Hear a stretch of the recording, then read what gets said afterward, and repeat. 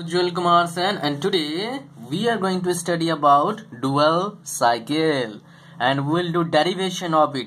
Probably because of that you have landed on this page I know that. So what we are waiting for let's get started so I hope you have watched my all cycle derivation related to I mean derivation related to Otto cycle diesel cycle Rankine cycle and other cycles also but today this cycle is related to Otto cycle as well as diesel cycle. Now in this cycle basically what makes this cycle difference? This is a five process cycle. Remember that. Five process cycle right? I hope this is a unique cycle according to the according to the number of processes right? And in this process two times heat addition is taking place heat addition is taking place two times. One in constant volume constant volume and another in constant pressure. Now to understand this constant volume and constant pressure what we have to do that is we have to draw a PV diagram right? So let's get started about it. What is the PV diagram of this Otto cycle probably I have to get another marker right? I will get one no problem. So this is a PV diagram for Otto cycle right yeah. So suppose that this is 1 this is 2 this is 3 this is 4 this is 5 so earlier I have shared with you that dual cycle is a five process cycle. Now from this diagram, yeah, this is a diagram of PV diagram. In short, we call PV diagram. But most of the time, those do not practice a lot. They forget about this V. They remember what is P pressure, but they always, most of the time I have seen student confused with that. That is, what is V? They confused with that is this velocity or volume? Then let me share with you this is volume. So don't get confused in this okay? If you get confused remember Otto cycle is also known as constant volume cycle. That means V we are using for drawing PV cycle is volume not velocity. Remember that okay? So the process is going like this. Now as from the diagram you can see 2 3 is a constant volume process and 3 4 is a constant pressure process. Again 5 1 is a constant volume process. So i have shared with you heat addition is taking place in this cycle two times. Heat addition is taking place from 2 to 3 that is okay and from 3 to 4 also. And heat rejection is taking place from 5 to 1 so what I am doing one is uh, one I am using II for initial and OO for out okay? Or uh, you can use E also eh? enter and out. That would be much better right to understand so this is a PV diagram for Otto uh, sorry dual cycle. Now let's go for the TS diagram. That diagram is also important right as PV diagram because I have seen in most of the competitive examination they ask question from TS diagram because this diagram is not familiar with students. That's why they try to as question from this diagram okay? So this is 1 to 2 1 to 2 2 to 3 3 to 4 4 to 5 so the direction would be like this. This is a constant volume. This is constant pressure. And this is 4 to 1 con uh, 4 to 5 what is this? This is isentropic process you can say that. 1 to 2 is also isentropic process because entropy is constant. And 5 to 1 is constant volume process. Constant volume process right?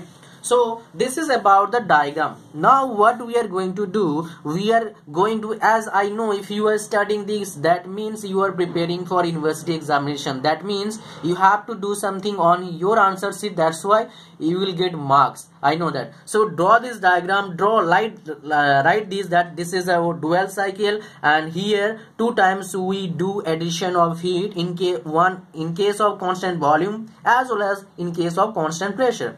Then draw these two diagrams right? Now we'll discuss in brief not in brief in uh, yeah sufficient that's sufficient. So uh, what about this process? I mean what is going on in this process? So 1 to 2 process for 1 to 2 process what is going on? Let me share with you. So 1 to 2 process what is here air is compressed. I must say that air is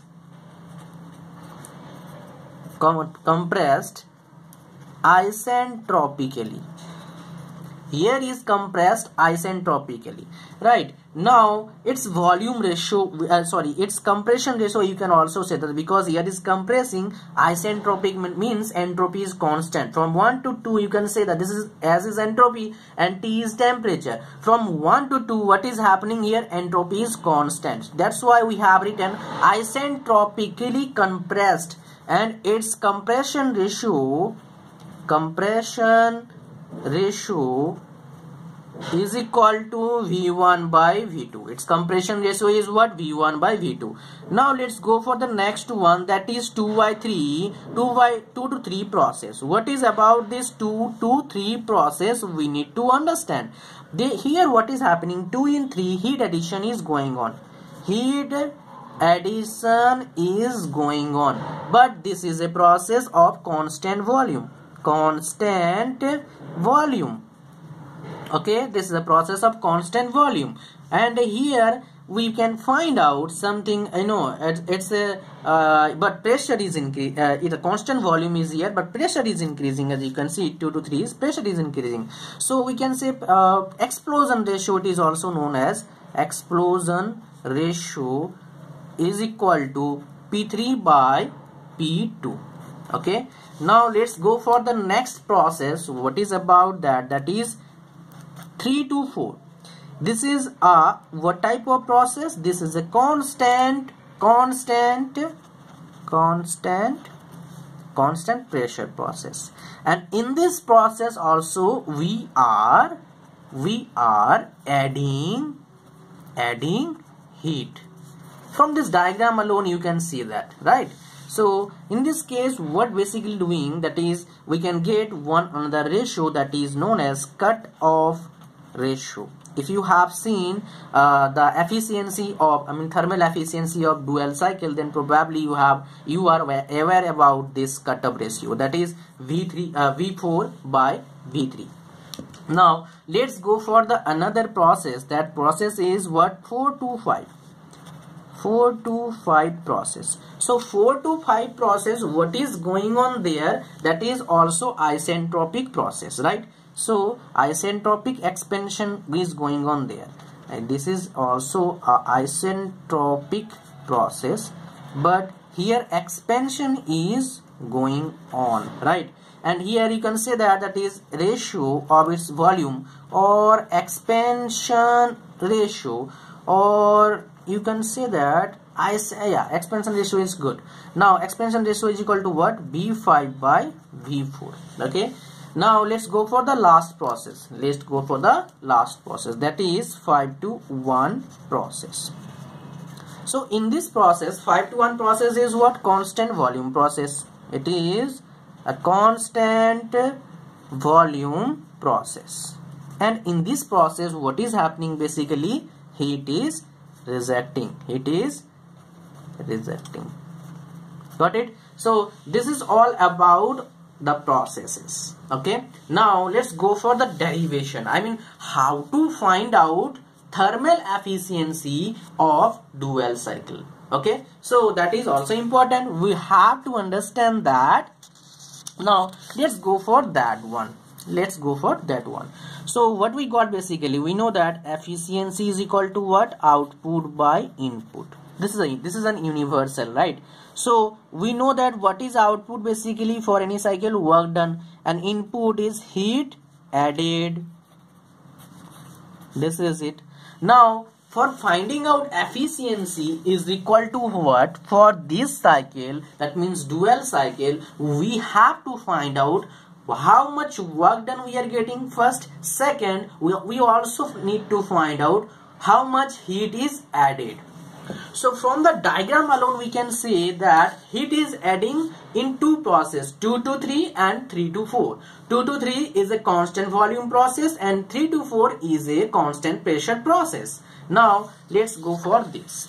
So what we'll find out basically heat added. So heat added how many processes in heat is adding? That is 3 to 2 uh, sorry 2 to 3 process 2 to 3 process and 3 to 4 process. Alright so 2 to 3 process. What is a what is what is about this process? That is a constant volume process. Therefore cv t3 minus t2 and 3 to 4 is a constant pressure process. Cp t4 minus t3 got it? Now now what we have to do we have to find out heat rejected. Heat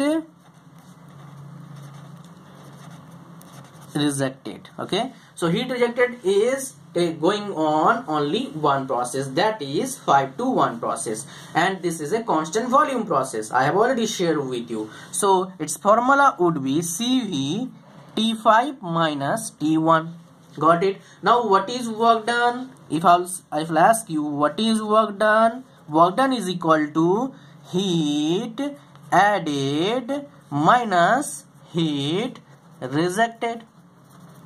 Okay this is simple. Let me make you understand by drawing a heat engine. So this is a heat engine right and this is work done. So this is let's say qi and q out.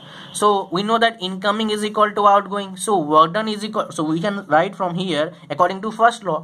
Itself q1 is equal to because energy energy is neither created and nor be destroyed. However it can transfer in one form to another form. So we are uh, changing this heat into work done. So q1 is equal to work done plus qo so work done is equal to what? Q1 q1 minus qo so what is q1 here? That is that is heat added qe and what is heat rejected here? Q naught therefore we can say that heat added minus heat rejected what we got from here only.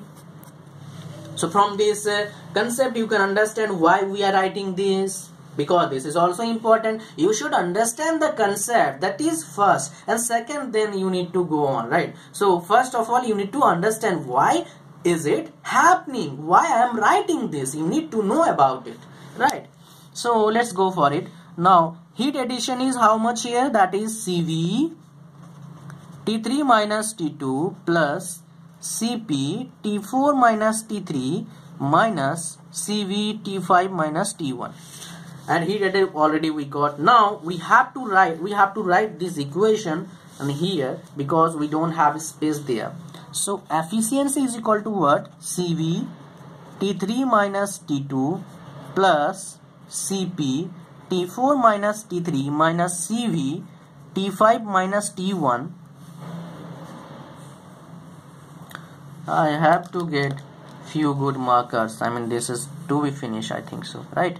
So now uh, CV T3 minus T2 plus CP T4 minus T3 now as you can see this term and this term both are equal so we can divide. So this one become 1 minus CV T5 minus T1 this is CV T3 minus T2 plus CP T4 minus T3 right now what we have to do we can divide by CP CP so what we got? 1 minus I mean we'll divide both the terms by CV and CV not CP okay? So we'll get here T5 minus T T1 division T3 minus T2 plus gamma T4 minus T3 so this is the thermal efficiency form, uh, formula for finding out in case of dual cycle. So this is all about this tutorial. I hope you understand the tutorial. If you are getting help, don't forget to subscribe. I mean subscribe the channel and of course don't forget to share with your friends. That's why they can also get help more from my tutorials. Thanks for watching. Thank you very much. Hope to see you again in my next video tutorial. Bye bye.